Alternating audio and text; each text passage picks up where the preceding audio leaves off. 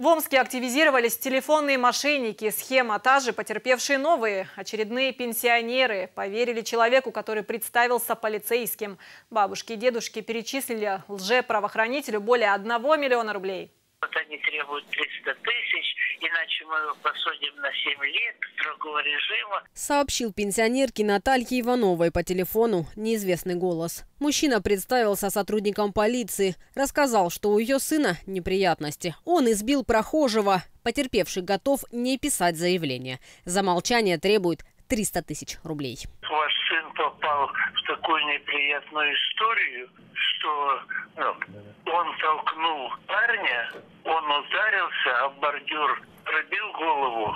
Мы его задержали, уже так переволновалась. Сама умом понимаю, что разводит, а ничего сделать не могу. Мне подключают Мишку, он плачет прям, говорит, мама, выручи, я тебе все верну, и выручи меня, только понимаешь, такая неприятность у меня. Ну как не поверить? Бабушка передала через курьера все свои сбережения. Через пять минут ее сын вместе с женой и внуком пришли домой.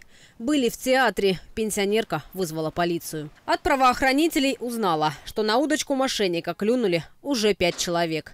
Все люди преклонного возраста. Следователи выяснили, что звонили из Сургута. Лжеполицейским оказался заключенный, а Мич, отбывавший наказание за разбой. С целью сбора доказательств по уголовному делу допрошено 6 потерпевших, более 20 свидетелей, истребованы 30 детализаций телефонных звонков. Была осуществлена служебная командировка в город Сургут, где в исправительной колонии по месту отбывания наказания подозреваемого проведен обыск, в ходе чего обнаружены изъяты 6 телефонных аппаратов, серийные номера которых совпадают с серийными номерами телефонов, с которых осуществлялись звонки потерпевших. Заключенного этапировали в Омск. Мужчина во всем признался, рассказал, что до своих жертв дозванивался методом подбора. Остальное – дело техники. Взволнованные пенсионеры сами сообщали всю информацию. Данные родственника – его местонахождение. Языком статья 159, часть 3.